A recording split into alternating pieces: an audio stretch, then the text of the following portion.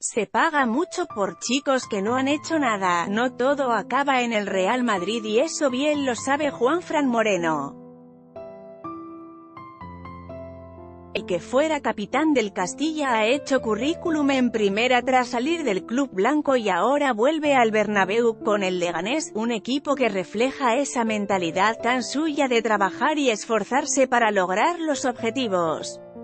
F. habló con él en exclusiva. P. Aún resulta especial para usted volver al Bernabéu después de su paso por la cantera o es un campo más. R. Es un campo más ya P. No le despierta ilusión enfrentarse al Real Madrid. R. Según va pasando el tiempo y los años en primera no tienes esa ilusión del principio. Es un partido más con mayor dificultad porque es mejor equipo al que te enfrentas pero ya no tienes esa ilusión que tienes de ir a campos importantes cuando empiezas. La ilusión es competir bien con los compañeros y, ¿por qué no?, ganar. P. Se habla en el vestuario de la victoria copera del Bernabéu el año pasado, R. Por ahora no. La gente lo guarda como un grato recuerdo porque fue una hazaña por su parte pero será un partido muy diferente que poco tendrá que ver. E, dicen del Leganés que es una entidad familiar, que el futbolista vive tranquilo. Es exagerado. R es un club familiar, sí, es una maravilla, desde que he llegado no hay nadie a quien no conozca. Pero relajado no se vive porque la tensión de la competición es igual en todos los sitios, aquí hay la misma exigencia de ganar cada fin de semana. Eso te hace estar activo. P. Es verdad que estuvo interesado en usted el Barcelona. R. Es una situación que se dio por la lesión de Aleix Vidal.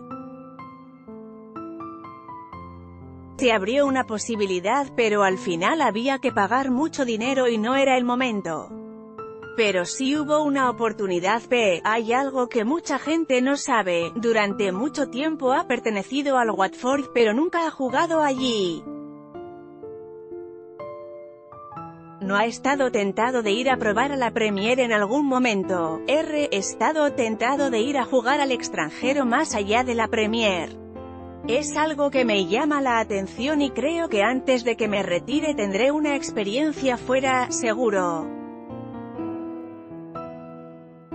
Pero la verdad es que mientras pertenecía al Watford estaba en el Deportivo muy a gusto y no tenía ganas de irme de allí para ir a otro lado. P. En sus comienzos futbolísticos trabajaba también como albañil con su padre para sacarse un dinero con el que se compraba botas. Como alguien que ha pasado necesidades consigue no desmelenarse cuando el dinero del fútbol llama a su puerta. R. Uno viene de donde viene y hay que estar siempre orgulloso de lo que es y de lo que ha sido. Mi padre ha sido un hombre que se ha dedicado siempre a la obra y aunque yo podía no hacerlo, siempre era positivo ir y ayudar en casa. Es un momento de mi vida que guardo con muchísimo cariño y no cambiaría nada de lo que he tenido por otra cosa. Fueron momentos muy buenos que pasé con mi padre y con mis hermanos, una experiencia que me llevo para mí. Una persona, sea futbolista o no, pasa de no tener mucho dinero a tenerlo y a veces puede estar tentada de tirarlo. Creo que cada día la gente tiene más cabeza, los futbolistas son más inteligentes y se piensa más en el día de mañana, invertir, tener negocios, ahorros. Los jugadores tienen más cabeza de la que se ve. P. sigue teniendo su SEAT León. R. por supuesto. Y espero poder tenerlo muchos años más aunque ya no lo muevo tanto porque tiene muchísimos kilómetros y lo cuido más. P. Le recuerda de dónde viene y a dónde ha llegado. R. Lo que me recuerda ese coche es lo que me costó pagarlo, 5 años de préstamo cuando jugaba en el Getafe y no ganaba tanto dinero como ahora. Es un grato recuerdo y le tengo mucho cariño porque me ha acompañado en todas las batallas. P. ¿Qué porcentaje de importancia tiene la mentalidad en un futbolista? R. Para mí la mentalidad lo es todo. La mentalidad competitiva, de querer, de saber que si las cosas no están saliendo bien es porque tú individualmente puedes hacer más. Si uno está al 100% seguro que termina teniendo sus minutos, aportando al equipo. P. Ha sido canterano de un equipo como el Real Madrid.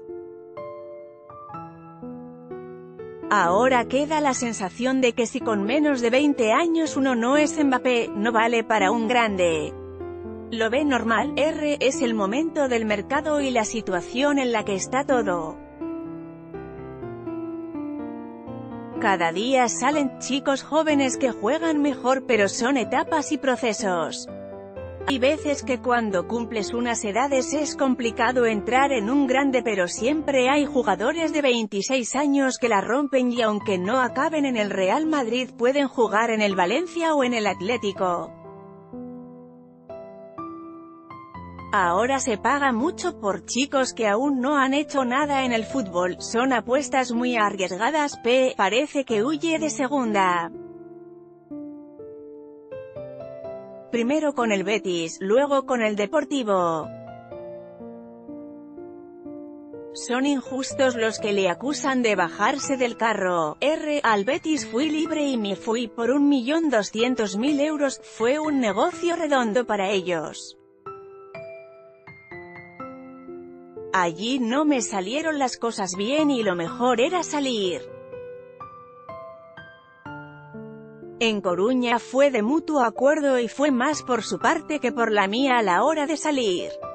En ningún momento propuse salir pero se entendió que lo mejor era un cambio de rumbo y al final salió el once titular entero.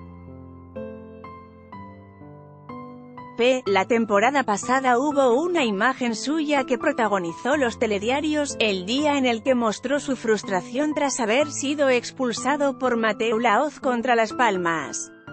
Le ha perdonado, ha vuelto a hablar con él. R. Aquel día fue mi error, somos seres humanos que tenemos nuestros problemas fuera del campo. Estaba pasando un mal momento por la enfermedad de un familiar y te pilla débil. Quería dar una alegría a esa persona que estaba en la grada, no pudo ser y encima me expulsaron. El momento que era me llevó a mostrar debilidad públicamente y eso es un error, nunca debes mostrar tus debilidades a nadie porque van a intentar que te hagan más daño. Ahora con las redes sociales lo único que se hace es criticar, hacer memes pero con Mateo volví a hablar esa semana. Es un árbitro que a mí me gusta y siempre me ha gustado. Siempre en los campos hemos tenido buena relación, hablamos esa semana y fue una anécdota. Hizo lo que creía que tenía que hacer y yo lo tenía que haber respetado. P. En unos días llegará a las tres décadas. ¿Cómo se imagina un futbolista profesional la crisis de los 30? R. Me encuentro mejor ahora que voy a hacer 30 que cuando tenía 22. Cada día hay mejores instalaciones, mejores fisioterapeutas, se previenen mejor las lesiones, la edad es muy relativa, hay jugadores que superados los 30 pasan a los jóvenes por encima. Ahora hay un caso que es el de José Luis Morales, del Levante. Con 20 años estaba en tercera y para mí es un ejemplo porque físicamente cada año está más rápido y más fuerte.